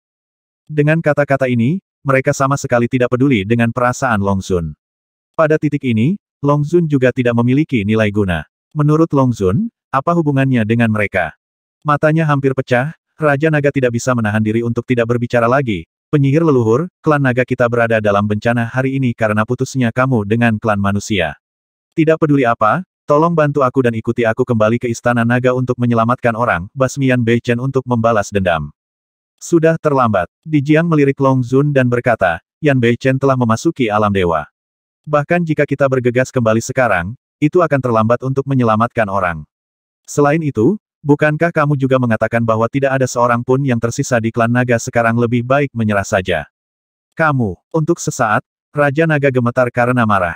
Meskipun klan naga menderita banyak korban, masih ada harapan. Jika kita bergegas kembali sekarang, bahkan jika kita bisa menyelamatkan beberapa anggota klan lagi, itu akan bagus. Tapi reaksi Dutian Senmo saat ini adalah dia meninggalkan klan naga begitu saja. Para dewa dan Ibel Dutian tidak peduli, tapi bagaimana mungkin dia tidak peduli. Sambil mengertakkan gigi, Long Zun marah dan kesal, tapi dia masih tak berdaya. Dia ingin pergi dengan marah dan kembali ke Istana Naga sendirian untuk menyelamatkan orang, tetapi alasannya mengatakan dengan jelas bahwa tanpa bantuan Dewa dan Ibel Dutian, jika dia kembali menghadapi Yan Bei Chen sendirian, dia pasti akan mati sia-sia. Tidak peduli betapa marah dan sakitnya dia, dia tetap rasional, dan dia tidak akan pernah melakukan hal yang akan menyebabkan kematian. Seperti yang dikatakan Sang Buddha kebahagiaan, dia masih kurang keberanian untuk bertarung sampai mati, jadi betapapun memalukannya, dia hanya bisa menahannya. Pada titik ini, dia tidak punya ruang untuk menyesal dan hanya bisa mengikuti dua belas dewa, I berjalan menuju kegelapan. Ingat semua dewa dan IBL kuno, konsentrasikan seluruh kekuatanmu, dan pastikan untuk memaksa Wu Qi untuk tunduk. Suan Ming memerintahkan dengan suara yang dalam dengan niat menghabisi yang dingin di matanya. Terobosan Yan Beichen juga membawa tekanan besar bagi mereka, tidak peduli apa, mereka harus memaksa Wu Qi untuk membangunkan Su Jiuyin dalam waktu sesingkat mungkin. Tentu saja, Memanggil semua dewa dan IBL kuno saat ini juga berarti waspada terhadap Yan Beichen. Lagi pula, dengan kekuatan dewa setengah langkah Yan Beichen, dewa dan IBL kuno lainnya tidak bisa menahannya sama sekali. Yang paling penting adalah karena mereka telah pergi ke Istana Naga, Yan Beichen pasti akan tahu tentang kedatangan mereka di Istana Naga Lautan Bintang. Jika Yan Beichen datang, itu masalah sebenarnya. Mengingat semua dewa dan IBL kuno, bahkan jika Yan Beichen datang, bersama-sama, kita bisa cukup percaya diri untuk mengalahkan atau bahkan menghabisi Yan Beichen. Adapun perang dengan umat manusia, sekarang Wuci telah ditemukan, itu tidak penting lagi. Mendengarkan percakapan antara Dewa Dutian dan Iblis, Long Zun mengertakkan gigi dan hampir muntah darah. Menghadapi para dewa dan Ibel Dutian, umat manusia berjuang mati-matian untuk melawan, terlepas dari hidup dan mati, namun mereka mengubah bahaya menjadi keselamatan, namun pada akhirnya ia berakhir dengan ras naga yang hampir musnah. Kontras ini membuatnya bagaimana mengakhirinya. Saya menyesalinya. Titik. Di Istana Surgawi, ketika berita tentang Kaisar Donghua muncul kembali, para penguasa dan orang-orang berkuasa dari umat manusia masih berdebat apakah akan bergegas ke Lautan Bintang untuk menyelamatkan Wuci. Yan Beichen kembali dan membalas dendam dengan kekuatannya sendiri bahwa klan naga hampir musnah tiba-tiba ke Istana Surgawi. Dalam sekejap, kerumunan itu meledak sepenuhnya. Semua orang yang hadir tidak mengenal Yan Beichen, dan mereka dengan jelas mengingat tempat terlarang itu. Karena Yan Beichen, semua orang hampir menemui jalan buntu. Dapat dikatakan bahwa di tanah terlarang, Yan Beichen mengkhianati umat manusia dua kali. Secara logika, bahkan menghabisi Yan Beichen tidaklah berlebihan. Namun di dunia ini, segala sesuatu tidak pernah dinilai berdasarkan benar dan salahnya. Memang benar Yan Beichen mengkhianati umat manusia demi warisan Dutian dan dirinya sendiri, tetapi Yan Beichen kembali, dan dia kembali dengan kekuatan mengerikan setelah terobosan. Dengan kekuatan absolut sebagai jaminan, siapa yang berani mengatakan bahwa Yan Beichen adalah bersalah? Terlebih lagi, kejadian sebelumnya sendiri membuat semua orang membenci klan naga karena mengkhianati mereka. Begitu Yan Beichen kembali, dia menggunakan pengorbanan darah klan naga untuk menghibur sang Buddha lagi pula. Yang paling penting adalah menghadapi ancaman para dewa dan IBL dari 12 ibu kota, umat manusia membutuhkan Yan Beichen. Dengan cara ini, kembalinya Yan Beichen secara alami menjadi peristiwa yang membahagiakan. Adapun kejadian sebelumnya, dia hanya bisa melupakannya secara selektif. Raja IBL Wuliang, pergilah ke Istana Naga secara langsung dan pastikan untuk membawa Yan Beichen kembali ke Istana Surgawi. Kata Ruo Yunsan perlahan dengan sedikit pemikiran di benaknya. Adapun orang yang memiliki hubungan paling dekat dengan Yan Beichen, tentu saja satu-satunya yang hadir adalah Raja Ibel Wuliang. Setelah kematian Sang Buddha, Yan Beichen dapat menghabisi klan naga untuk membalas dendam. Menghadapi Raja Ibel Wu, Yan Beichen tidak punya alasan untuk menolak. Meskipun sebelumnya sepertinya ada pertengkaran, setelah Ruo Yunsan mengatakan ini, tidak ada yang keberatan. Bahkan Putri Changning hanya sedikit mengernyit dan tidak keberatan. Mari kita kesampingkan masalah Laut Xingchen untuk saat ini. Menurut apa yang dikatakan Kaisar Donghua, Wu Qi seharusnya tidak berada dalam bahaya dalam waktu singkat. Kami akan memutuskan segalanya setelah Yan Beichen kembali. Setelah itu, Ruo Yunsan berbicara lagi. Bagaimanapun, masalah pembunuhan klan naga masih hanya sekedar berita, dan apa yang terjadi masih belum jelas.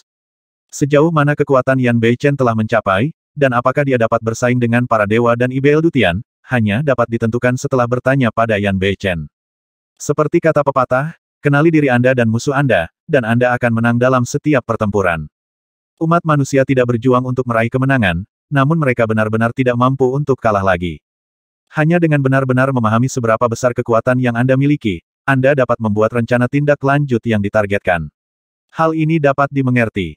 Dikatakan bahwa Raja Ibelwu pergi menemui Yan Beichen, tapi nyatanya, Raja Ibelu belum pernah melangkah ke alam Tuhan. Demi alasan keamanan, Gai Jiuxiao juga menemani Raja Ibelu di sana. Bagaimanapun, Yan Beichen dan Gai Jiuxiao sama-sama berada di bawah sekte leluhur Demonic Wei di masa lalu. Mereka juga dianggap saudara. Jiuxiao yang tertutup memimpin, dan tidak butuh waktu lama untuk tiba di Istana Naga. Meskipun mereka telah menerima berita sebelumnya bahwa klan naga hampir dimusnahkan oleh Yan Beichen sendirian, Ketika mereka benar-benar melihat apa yang terjadi di Istana Naga, Ge Jiuxiao dan Raja Ibelu masih tidak bisa menyembunyikan keterkejutan di hati mereka. Mayat di mana-mana, seluruh langit berbintang dipenuhi mayat naga di mana-mana. Api ibel memenuhi langit, memberikan perasaan depresi yang tak terlukiskan. Bahkan dengan kekuatan Ge Jiuxiao, dia tidak bisa menahan perasaan dingin di hatinya. Mengerikan. Tidak terbayangkan bagaimana Yan Beichen bisa melakukan semua ini sendirian. Mungkinkah dengan bantuan warisan Dutian, Yan Beichen benar-benar memasuki alam dewa. Sementara berbagai pemikiran melintas di benak mereka, sosok Yan Beichen muncul di depan mereka berdua. Yan Beichen sudah merasakannya sejak Gai Jiuxiao dan yang lainnya memasuki Istana Naga, dan pada saat ini, pertempuran melawan klan naga hampir sepenuhnya berakhir. Kecuali sebagian kecil dari klan naga yang berhasil melarikan diri, semua klan naga lainnya binasa. Yan Beichen bahkan tidak mau membiarkan siapa pun hidup. Ini adalah pembantaian berdarah, dan tidak ada belas kasihan bagi Yan Beichen. IBL dapat melakukan apa pun yang dia inginkan dan tidak terikat oleh moralitas duniawi, apalagi makhluk seperti Yan Beichen. Saya telah bertemu Raja IBL Wu. Yan Beichen membungkuk sedikit dan memberi hormat secara alami. Meski dari segi kekuatan, ia tak lagi sebanding dengan Raja IBL Wu, namun persahabatan dari masa lalu masih tetap ada, jadi wajar saja ia tetap memperlakukannya dengan sopan. Ini bukan hanya soal kesopanan, tapi juga kebanggaan. Apa yang disebut sebagai kesuksesan seorang penjahat sebenarnya masih merupakan tanda kurang percaya diri. Dengan harga diri Yan Beichen, mengapa dia harus menggunakan cara yang kekanak-kanakan untuk meningkatkan statusnya? Sejak dia kembali, dia sudah berada di puncak dunia, jadi mengapa dia harus meninggikan dirinya sendiri? Tapi bagi Raja Ibel Wu, hadiah Yan Beichen benar-benar membuat orang merasa lega, dan wajahnya dipenuhi dengan senyuman bahagia. Meskipun dia tidak memiliki gelar guru dan murid, Yan Beichen telah diajar olehnya, dan dia dianggap sebagai setengah penerusnya. Melihat Yan Beichen begitu kuat, dia secara alami merasa terhormat. Oke, saya tidak menyangka potensi Wu saya terbatas dan saya tidak bisa masuk ke alam Tuhan, tetapi ada penerus seperti Anda. Bahkan jika saya mati, saya tidak akan menyesal. Beichen, Raja Ibel Wu merasa lega dan tertawa terbahak-bahak. Yan Beichen tidak menyangkal identitasnya sebagai penerus Raja Ibel Wu. Sebenarnya, dia bukanlah keturunan Raja Ibel Wu, tapi dia hanya menerima beberapa bimbingan. Cara ajaib Yan Beichen adalah sektenya sendiri dan tidak ada hubungannya dengan sekte orang lain. Jika ada seorang master, itu hanya bisa menjadi nenek moyang dari cara Ibel di dunia atas. Tidak peduli apa, dia tidak bisa digolongkan sebagai Raja Ibel Wu. Namun, Yan Beichen hari ini secara alami tidak akan mempedulikan hal ini dengan Raja Ibelu. Memalingkan matanya, Yan Beichen menatap Gai Jiuxiao dan berkata dengan lembut, Adik laki-laki, kamu baik-baik saja. Mendengar gelar adik lagi, Gai Jiuxiao terdiam sejenak, lalu berkata, Selamat, kakak senior Yan, karena memasuki alam dewa. Jika sebelumnya, Gai Jiuxiao masih sedikit tidak puas dengan Yan Beichen dan ingin melampauinya, sekarang, menghadapi Yan Beichen lagi, sangat sulit baginya untuk merasakan keinginan untuk membandingkan. Hanya dengan melangkah ke alam dewa kita dapat memahami betapa sulitnya mengambil langkah ini dan memasuki alam para dewa. Pada saat ini, meskipun Yan Beichen tidak mengambil tindakan, Gai Jiuxiao merasa bahwa itu memang bukan aura yang bisa dimiliki oleh Lord Rilem. Itu hanya dewa setengah langkah. Sambil menggelengkan kepalanya sedikit, Yan Beichen menjawab dengan tenang. Di mata orang lain, dia secara alami sangat kuat sekarang, dan tidak masuk akal untuk mengatakan bahwa dia berada di alam para dewa, tetapi hanya Yan Beichen yang tahu seberapa besar kesenjangannya. Setengah langkah menuju alam dewa, mereka baru saja melangkah ke alam dewa, mengembangkan prototipe alam semesta, dan memiliki modal untuk menjadi benar-benar transenden, dan menjadi jalan surga dengan sendirinya. Namun itu masih jauh dari alam dewa yang sebenarnya. Sederhananya, jika Yan Beichen benar-benar melangkah ke alam dewa, dia dapat dengan mudah mencapai tempat mana pun di alam semesta hanya dengan satu pikiran. Untuk menghabisi klan naga, tidak perlu mengeluarkan usaha sebesar itu, bahkan di dalam istana surgawi. Dapat membuat hukum surga datang ke istana naga. Di bawah alam Tuhan, sebuah pikiran dapat langsung menghabisi seseorang dengan sebuah pikiran. Ikuti kata-katamu dan kendalikan surga. Itulah semangat yang benar-benar melampaui semua makhluk hidup. Tentu saja, perbedaan antara keduanya hanya dapat benar-benar dipahami setelah mengambil setengah langkah menuju dewa. Jika tidak, meskipun dijelaskan, akan sulit untuk dijelaskan dengan jelas. Namun, jelas bahwa Yan Beichen tidak berniat menjelaskan kepada siapa pun. Aku tidak peduli dengan dewa setengah langkah dan bukan dewa setengah langkah. Aku hanya bertanya padamu, bisakah kamu menghadapi dua belas dewa dan Ibel Surgawi sekarang? Setelah melambaikan tangannya, Raja Ibel Wu bertanya lagi. Hanya di alam perkasa, Raja Ibel Wu secara alami tidak mengerti artinya, dan tidak perlu memahaminya, jadi dia bertanya langsung. Yang lain-lainnya sepele, Persoalan ini adalah inti dari segalanya. Tidak, Yan Beichen menjawab dengan tenang dengan kelopak matanya sedikit bergerak. Jika para dewa dan Ibel dari 12 ibu kota berkumpul, dalam formasi ibu kota, mereka akan memiliki kekuatan yang sebanding dengan para dewa. Untungnya, Zhu Jiuyin hilang, jadi mereka tidak dapat melakukan apa pun terhadap saya. Namun, saya juga bisa jangan lakukan apa pun pada mereka sekarang. Penjelasannya sangat sederhana, jelas dan mudah dimengerti. Pokoknya, Kembalilah ke istana surgawi bersamaku dulu, mari kita diskusikan, lalu cari solusinya. Dia sedikit mengernyit, jelas Raja Ibelwu tidak menyangka akan mendapat jawaban seperti itu, dan menggelengkan kepalanya dan berkata. Menurut ide Raja Ibelwu, Yan Beichen sendiri tidak bisa berbuat apa-apa terhadap lawannya, tapi jika dia bergabung dengan penguasa ras manusia lainnya, atau bahkan penguasa ras iblis, maka dia sangat yakin bisa mengalahkannya. Dewa dan Ibel Dutian. Terlebih lagi, ada Wuci lain jauh di dalam lautan bintang. Selama para dewa dan Ibel Dutian bisa ditahan sampai Wuci bangun, maka mungkin Wuci juga bisa menerobos dewa setengah langkah, mereka harus ditangani bersama. Apakah ada 12 dewa dan Ibel di ibu kota? Sayangnya, Raja Ibel Wu rupanya salah menebak pemikiran Yan Beichen dan melebih-lebihkan pengaruhnya terhadap Yan Beichen. Mengangkat kepalanya dan melirik Raja Ibel Wu, Yan Beichen berkata dengan tenang, tidak perlu, kamu bisa berdiskusi dan menangani masalah umat manusia. Ada hal lain yang harus aku lakukan. Begitu kata-kata ini keluar, ekspresi Raja Ibelwu tiba-tiba berubah. Dia tidak pernah menyangka Yan Beichen akan menolak, dan menolak begitu saja. Yan Beichen, Wu Qi berada jauh di dalam lautan bintang, dan sekarang 12 dewa dan Ibel telah tiba di lautan bintang.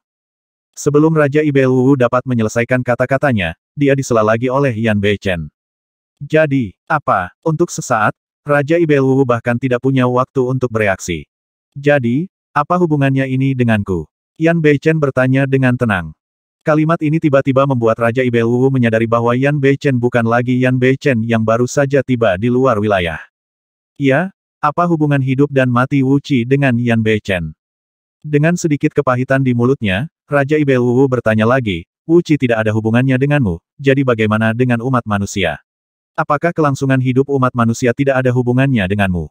Saat menyebutkan ras manusia, Yan Beichen akhirnya berhenti sejenak, dan kemudian perlahan menjawab, selama saya hidup, umat manusia tidak akan binasa, tetapi ini tidak berarti bahwa saya bersedia diperintah oleh siapa pun.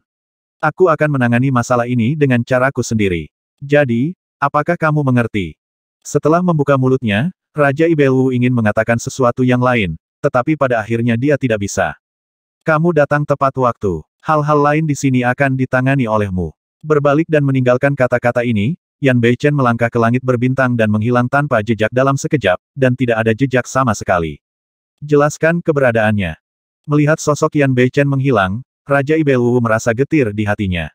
Untuk pertama kalinya, dia menemukan bahwa dia sama sekali tidak memahami Yan Beichen, yang dia klaim sebagai penerusnya. Kenapa? Kenapa ini terjadi? Melihat Ge Jiuxiao, Raja Ibelwu bertanya dengan suara serak. Setelah hening beberapa saat, Ge Jiuxiao perlahan menjawab, saat kita berada di tanah terlarang, Tuan Ruo pernah berkata bahwa penguasa satu langkah akan abadi. Sampai batas tertentu, mereka adalah dewa, abadi dan abadi. Tentu saja, perasaan biasa tidak bisa lagi menahannya. Setelah menghela nafas, Gai Jiuxiao melanjutkan, tidak lama setelah kami memasuki alam Tuhan, kami secara alami masih terikat, tetapi Yan Beichen akhirnya putus dengan kami terlebih lagi, sekarang, dia telah setengah melangkah ke alam dewa.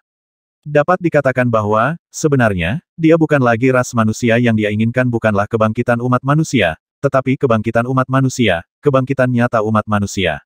Ambil langkah terakhir dan jadilah dewa di atas segalanya. Pada titik ini, mata Ge Jiuxiao tanpa sadar tertuju ke arah lautan bintang. Yan Beichen memang seperti ini, jadi bagaimana jadinya jika Anda juga melangkah ke alam dewa setengah langkah? 1360